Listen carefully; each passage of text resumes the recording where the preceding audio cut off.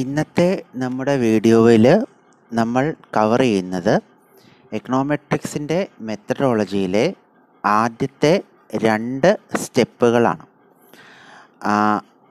ആദ്യത്തെ സ്റ്റെപ്പ് എന്താണ്? Statement of hypothesis statement of hypothesis എന്ന് പറഞ്ഞാൽ ഞാൻ നേരത്തെ പറഞ്ഞതുപോലെ നമ്മൾ ഒരാശയം മുന്നോട്ട് വയ്ക്കുന്നു അതാണ് സ്റ്റേറ്റ്മെന്റ് ഓഫ് ഹൈപ്പോത്തസിസ് അത്രയോ അതിനകത്തുള്ളൂ.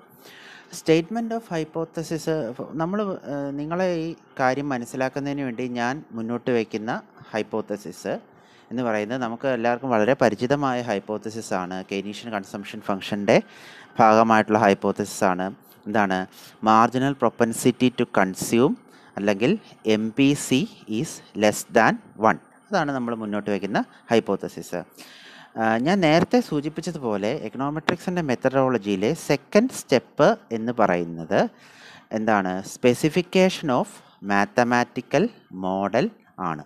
അതെന്താണെന്നാണ് ഞാൻ ഇവിടെ എക്സ്പ്ലെയിൻ ചെയ്ത് പറയുന്നത് ഈ വീഡിയോയിൽ അപ്പം ഇനി നമ്മൾ മുന്നോട്ട് പോകുന്നതിന് മുമ്പായിട്ട് ഞാൻ നിങ്ങൾക്ക് അയച്ചു തന്ന ആ ഫോട്ടോയിൽ കാണുന്ന ഇക്വേഷൻ നിങ്ങളൊരു പേപ്പറിൽ എഴുതി അതുമായിട്ട് നിങ്ങൾ ഈ വീഡിയോ കാണുക. അല്ലെങ്കിൽ നിങ്ങൾക്ക് ഈ വീഡിയോ പറയുന്ന ഒരു കാര്യവും മനസ്സിലാവില്ല. കാരണം ആ ഇക്വേഷനെ കുറിച്ചാണ് ഈ വീഡിയോയിൽ പറയുന്നത്.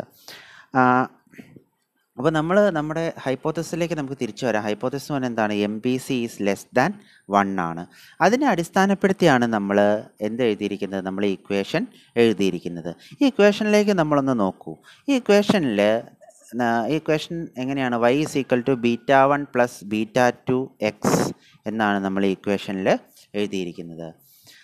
ഈ ഇക്വേഷനിൽ ചില പ്രധാനപ്പെട്ട കാര്യങ്ങൾ ഉണ്ട്. അത് നമ്മുടെ ഇനി മുമ്പോട്ടുള്ള എക്കണോമെട്രിക്സിന്റെ നമ്മുടെ പ്രയാണത്തിൽ ഇത് വളരെ ഇമ്പോർട്ടന്റ് ആയിട്ടുള്ള കൺസെപ്റ്റ്സ് ആണ് ആ ഇക്വേഷനിൽ ഉള്ളത്.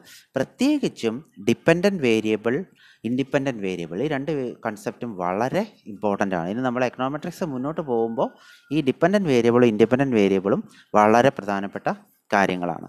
അപ്പോൾ നമുക്ക് ആ ഇക്വേഷനിലേക്ക് തിരിച്ചു വരാം. ഈ ഇക്വേഷനിൽ y is equal to beta one plus beta two x എന്നാണ് ആ ഇക്വേഷൻ വൈ എന്ന് പറയുന്നത് എന്താണ്? നമ്മുടെ കൺസംഷൻ ആണ്.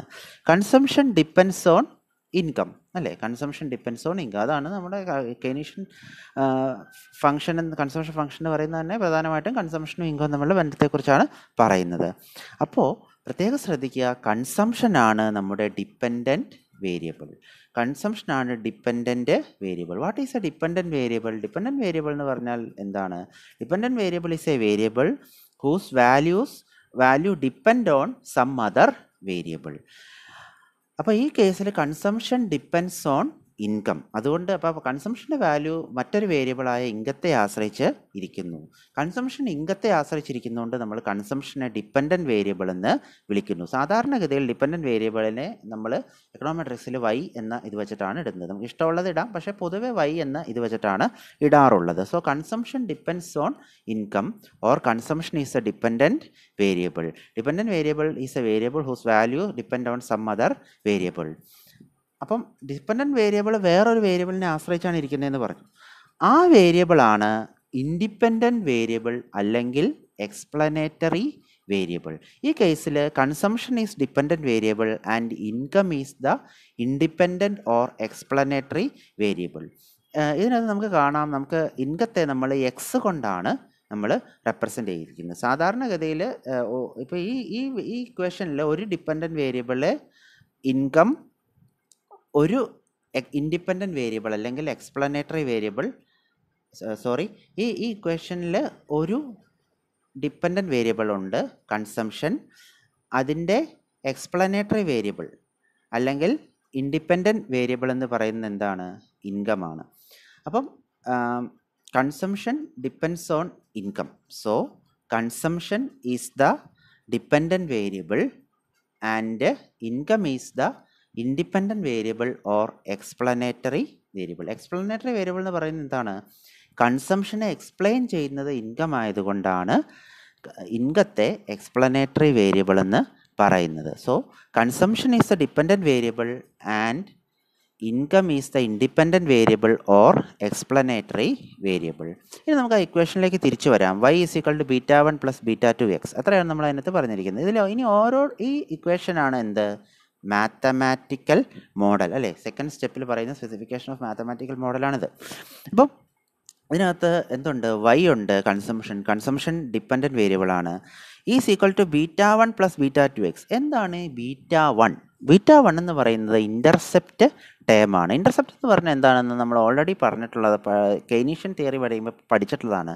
നമ്മൾ ഗ്രാഫ് വരയ്ക്കുമ്പം ആ, എന്താണ്? ഒരു പ്രത്യേക പോർഷൻ നമ്മൾ ആ ലൈനിന്റെ അടിയിലായിട്ട് വരുന്നുണ്ട്. അതാണ് ഇന്റർസെപ്റ്റ് എന്ന് പറയുന്നത്. അപ്പോൾ ഇന്റർസെപ്റ്റിന്റെ മീനിങ് മാത്രമാണ് ഞാൻ പറയുന്നത്. ഇന്റർസെപ്റ്റ് ടേം എന്ന് പറഞ്ഞാൽ എന്താണ്? കൺസംഷൻ തിയറിയിലാണെങ്കിലും എവിടെയാണല്ലോ ഇന്റർസെപ്റ്റ് ടേം എന്ന് പറഞ്ഞാൽ എന്താണ്? അപ്പോൾ നമ്മൾ കൺസംഷൻ പഠിക്കുമ്പോൾ നമ്മൾ പറയും a certain portion of the consumption do not depend on income അല്ലെ? ഇൻകത്തിൽ വേരിയേഷൻ വന്നില്ലെങ്കിലും കുറച്ച് കൺസംഷൻ ഉണ്ടാകും അല്ലെങ്കിൽ ഇൻകം സീറോ ആയാലും കുറച്ച് കൺസംഷൻ ഉണ്ടാകും. എന്ന് പറയുന്ന ആ ഒരു ഭാഗമാണ് എന്ത്? ഇന്റർസെപ്റ്റ് ടേം അല്ലേ? നമ്മൾ കൺസംഷൻ തിയറി പഠിക്കുമ്പോൾ നമ്മൾ പറയുന്നത് എന്താണ്? ഇൻകം സീറോ ആയാലും കുറച്ച് കൺസംഷൻ ഉണ്ടാകും. ആ കൺസംഷനെയാണ് നമ്മൾ ഇന്റർസെപ്റ്റ് ടേം എന്നതുകൊണ്ട് ഉദ്ദേശിക്കുന്നത്. അപ്പോൾ നമുക്ക് അത് നിങ്ങൾക്ക് അറിയാവുന്ന കാര്യമാണ് അല്ലേ? ഇന്റർസെപ്റ്റ് ഇപ്പോൾ കൺസംഷൻ തിയറിയിലെ ഇന്റർസെപ്റ്റ് ടേം എന്ന് പറഞ്ഞാൽ ഇൻകം സീറോ ആയാലും ഉണ്ടാകുന്ന കൺസംഷനാണ് നമുക്ക് ഇതേ ആശയം തന്നെ നമ്മുടെ ഡിപ്പെൻഡന്റ് വേരിയബിൾ ഇൻഡിപെൻഡന്റ് വേരിയബിൾ എന്ന് പറയുന്ന ഫ്രെയിമിലേക്ക് കൊണ്ടുവരുമ്പോൾ എന്താണ്? നമ്മളുടെ ഇൻഡിപെൻഡന്റ് വേരിയബിൾ അതായത് എക്സ് വേരിയബിൾ അല്ലെങ്കിൽ എക്സ്പ്ലനേറ്ററി വേരിയബിൾ സീറോ ആയാലും ഒരു സീറോ ആകുമ്പോൾ ഡിപ്പെൻഡന്റ് വേരിയബിളിന്റെ വാല്യൂ എന്തായിരിക്കും? അതാണ് ഇന്റർസെപ്റ്റ് ടേം എന്നതുകൊണ്ട് ഉദ്ദേശിക്കുന്നത്. ഇന്റർസെപ്റ്റ് ടേം എന്നതുകൊണ്ട് ഉദ്ദേശിക്കുന്നത് എന്താണ്? ഇൻഡിപെൻഡന്റ് വേരിയബിൾ അല്ലെങ്കിൽ എക്സ്പ്ലനേറ്ററി വേരിയബിളിന്റെ വാല്യൂ സീറോ ആകുമ്പോൾ ഡിപ്പെൻഡന്റ് വേരിയബിളിന്റെ വാല്യൂ എത്രയായിരിക്കും എന്നതാണ് ഇൻഡിപെൻഡന്റ് വേരി സോറി ഇന്റർസെപ്റ്റ് എന്നതുകൊണ്ട് ഉദ്ദേശിക്കുന്നത്. ഈ ഈ ഇക്വേഷനിൽ ഇന്റർസെപ്റ്റ് എന്ന് പറയുന്നത് ബീറ്റ വൺ ആണ്. ബീറ്റ വൺ എന്ന് പറഞ്ഞാൽ എന്താണ്? Value of the dependent variable അല്ലെങ്കിൽ കൺസംഷൻ അല്ലെങ്കിൽ y when value of independent variable അല്ലെങ്കിൽ എക്സ്പ്ലനേറ്ററി വേരിയബിൾ അല്ലെങ്കിൽ എക്സ്. നമ്മുടെ ഈ എക്സാമ്പിളിൽ ഇൻകം സീറോ ആകുമ്പോൾ ഡിപ്പെൻഡന്റ് വേരിയബിളിന്റെ വാല്യൂ എത്രയാണെന്നുള്ളതാണ് ഇന്റർസെപ്റ്റ് ടേം എന്നതുകൊണ്ട് ഉദ്ദേശിക്കുന്നത്. ഇൻഡിപെൻഡന്റ് വേരിയബിളിന്റെ ഒന്നുകൂടി പറയാം. ഇൻഡിപെൻഡന്റ് വേരിയബിളിന്റെ വാല്യൂ സീറോ ആകുമ്പോൾ ഡിപ്പെൻഡന്റ് വേരിയബിൾ വേരിയബിളിന്റെ വാല്യൂ എത്രയാണ് എന്നാണ് നമ്മൾ എന്തുകൊണ്ട് ഉദ്ദേശിക്കുന്നത്? ഇന്റർസെപ്റ്റ് ടേം കൊണ്ട് ഉദ്ദേശിക്കുന്നത്. ഇനി ഇക്വേഷനിൽ അടുത്ത കാര്യം beta one plus beta two x അതാണ് ഇനി ബാക്കിയുള്ളത്. ഇതിനകത്ത് എക്സ് എന്താണെന്ന് നമ്മൾ ഓൾറെഡി പറഞ്ഞു കഴിഞ്ഞു. എന്താണ്? എക്സ്പ്ലനേറ്ററി വേരിയബിൾ അല്ലെങ്കിൽ ഇൻഡിപെൻഡന്റ് വേരിയബിൾ ആണ്. നമ്മുടെ എക്സാമ്പിളിൽ ഇൻകമാണ് ഈ ബീറ്റ ടു എന്താണെന്നുള്ളതാണ് നമ്മൾ പറയുന്നത്. ബീറ്റ ടു നമ്മുടെ ഈ ഇൻകം കൺസംഷൻ എക്സ് എക്സാമ്പിളിൽ ബീറ്റ ടു എന്ന് പറയുന്നത് നമ്മുടെ മാർജിനൽ പ്രൊപ്പൻസിറ്റി ടു കൺസ്യൂം ആണ്. നമുക്കറിയാം എന്താണ് മാർജിനൽ പ്രൊപ്പൻസിറ്റി ടു കൺസ്യൂം എന്ന്. Change in consumption due to a change in income ആ ആശയം നമ്മൾ നമ്മുടെ x dependent variable independent variable എന്ന് പറയുന്ന ഫ്രെയിമിൽ കൊണ്ടുവരുമ്പോൾ നമുക്ക് എന്ത് പറയാൻ പറ്റും? കൺസംഷൻ എന്താണ്? ഡിപ്പെൻഡന്റ് വേരിയബിൾ ആണ്. ഇൻകം എന്താണ്? ഇൻഡിപെൻഡന്റ് വേരിയബിൾ ആണ്. അപ്പോൾ ബീറ്റ ടു എന്ന് പറയുന്നത് എന്താണ്? ബീറ്റ ടു എന്ന് പറയുന്നത് എന്താണ്? Change in dependent variable due to a unit change in independent variable beta two എന്ന് പറയുന്നത് എന്താണ്? Change in dependent variable due to a unit change in independent variable ആണ് ബീറ്റ ടു.